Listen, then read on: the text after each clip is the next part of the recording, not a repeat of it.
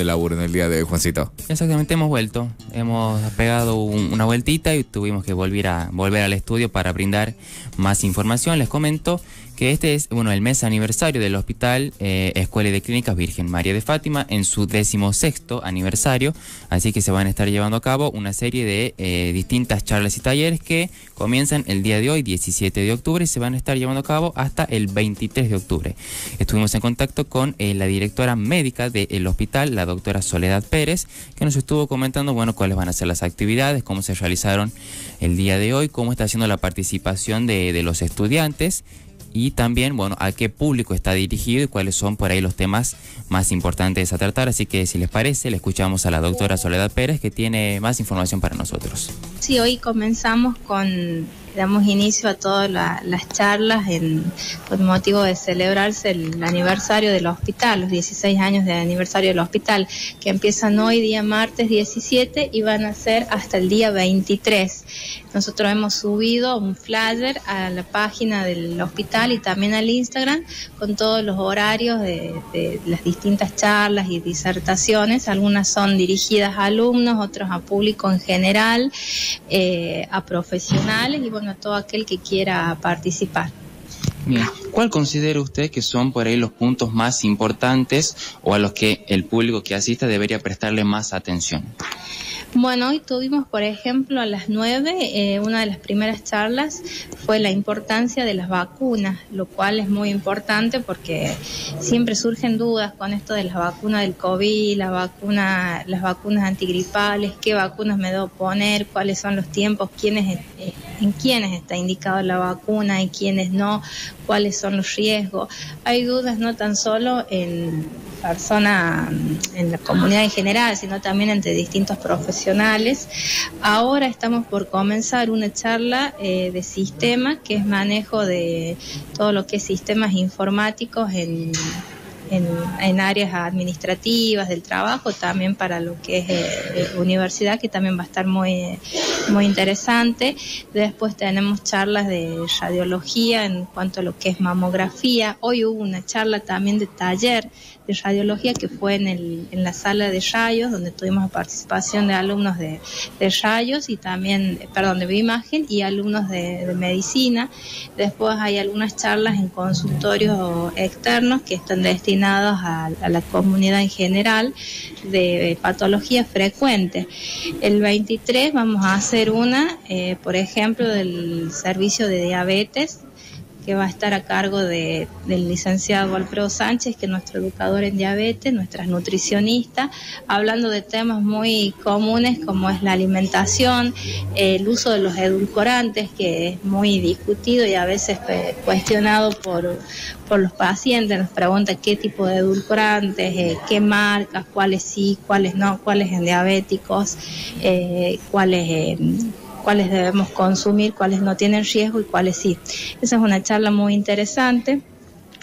Después tenemos hoy también a las 11 eh, rehabilitación del síndrome de de túnel carpiano, que también es una patología muy frecuente, cuáles son los síntomas, si tiene tratamiento o no, si tiene rehabilitación, esa está a cargo del neurocirujano que tenemos en nuestro hospital, el doctor Bustamante, con el área de TEO en cuanto a lo que es la rehabilitación. Y así distintas, ah, distintas temarias, temática muy diversa. ¿Cuál es la importancia? Usted nos decía hace un ratito que han participado estudiantes en lo que son estas primeras charlas. ¿Cuál es la importancia que tiene para ellos y para ellas el poder presenciar estas actividades y bueno, cómo influye también en lo que es bueno, su futura carrera profesional? Bueno, las charlas están destinadas principalmente a todos eh, todos los estudiantes de ciencias de la salud, eh, tanto en estudiantes de medicina, enfermería. También hay una charla de enfermería acerca de lo que es eh, canalización en paciente internado, que es muy importante con lo que es la, práctica. estudiantes de sistemas estudiantes de mm, de bioimagen también, como les digo, en varias charlas destinadas a, a lo que es mamografía, taller de radiología, más que todos están destinados a los estudiantes de ciencias de la salud.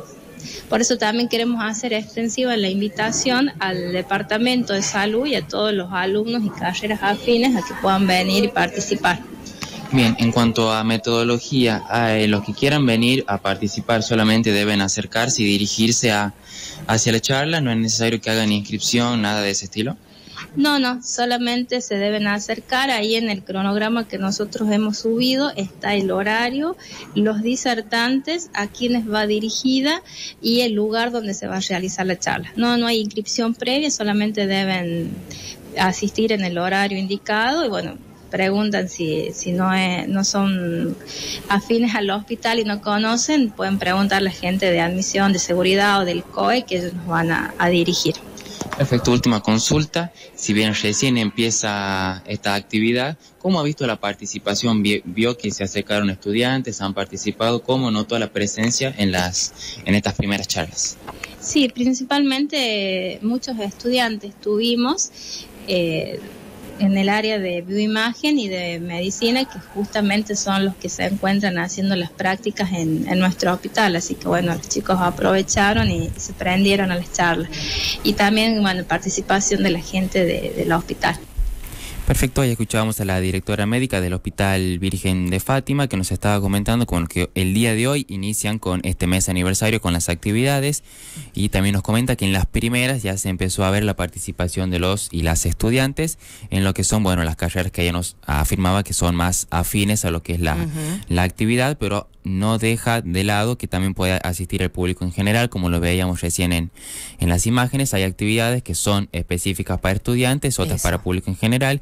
Destacaba, por ejemplo, el caso de, la diabetes y de los que no hablaba del edulcorante, que son temáticas que puede tratar una persona que esté interesada en el tema, pero que no necesariamente sea afín a la, a la medicina y también destacar lo que ella nos decía, que no es necesario hacer inscripciones, no es necesario llenar un formulario y tampoco es necesario hacer un pago o, que tenga un costo, es totalmente gratuito y en la entrada del Hospital de Fátima ahí podemos consultar los que quieran ir y no se puedan ubicar bien en dónde es la, charla, consulten y ahí se les da la, información. Perfecto, también, bueno, lo comentábamos temprano, eh, eh, pueden ingresar a las redes sociales del hospital, que allí tienen los flyers con toda la, información de las actividades que se van desarrollando y como decía Juan y también decía la, la doctora, hay actividades que son específicamente para estudiantes o profesionales y también actividades para el público en general. Consultan y si no se pueden llegar en ese momento al, al hospital, eh, pueden mandar un mensajito a través de, Instagram, a través de, Facebook